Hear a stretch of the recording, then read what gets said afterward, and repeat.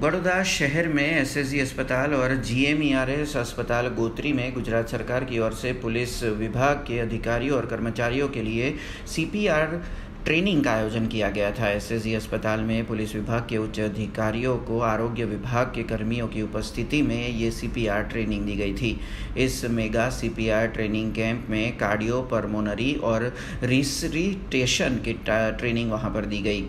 इस मौके पर राज्य के मुख्यमंत्री भूपेंद्र पटेल वर्चुअल तरीके से जुड़े थे और उन्होंने संबोधन भी किया था आपको बता दें कि एसएसजी अस्पताल के जो स्वास्थ्य कर्मी हैं उनकी ओर से पुलिस विभाग के कर्मियों को ये सीपीआर की ट्रेनिंग दी गई ગુજરાત પોલીસ ના લોગોમાં ત્રણ શબ્દો હોય છે સુરક્ષા સેવા અને શાંતિ સુરક્ષા માટે અને શાંતિ માટે અમે કામ કરીએ છીએ પણ આજે અમે સેવા માટે અમારા દરેક કર્મચારી કામ કરી શકે એના માટે સીપીઆરની ટ્રેનિંગના આયોજન કરવામાં આવ્યા છે.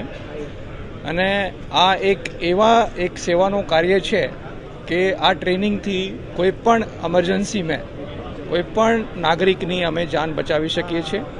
આ બદલ મેં medical fraternity, medical association ISA એ તમામના આભાર માનું છું કે અમારી પોલીસ ફોર્સના તમામ જવાનને આ સેવા માટે ટ્રેનિંગ આપશે. ગુજરાત રાજ્યના માન્ય મુખ્યમંત્રી શ્રી ભૂપેન્દ્રભાઈ પટેલ સાહેબ દ્વારા તેમના માર્ગદર્શનથી અને ગુજરાત રાજ્યના ગૃહ રાજ્યમંત્રી હર્ષભાઈ સંઘવીના પ્રયત્નોથી આખા ગુજરાત રાજ્યના પંચાવન હજારથી પણ વધારે પોલીસ કર્મીઓના માટે આજે સીપીઆર ટ્રેનિંગનું એક આયોજન કરવામાં આવેલ છે, જે અંતર્ગત વડોદરા શહેરમાં પોલીસ કમિશનર શ્રી શમશેરસિંહજીના અધ્યક્ષતામાં પણ સીપીઆર ટ્રેનિંગનું આયોજન કરવામાં આવ્યું છે, જેમાં વડોદરા શહેરના બેથી અઢી હજાર જેટલા પોલીસ કર્મીઓને આજે દિવસ દરમિયાન સીપીઆરનું ટ્રેનિંગ મળવાનું છે અને તેની સાથે સાથે આ જેમને પણ ટ્રેનિંગ લીધું છે, તમામ પોલીસ કર્મી મિત્રો આજે અંગદાનનું પણ એક શપથ લેવાના છે ત્યારે.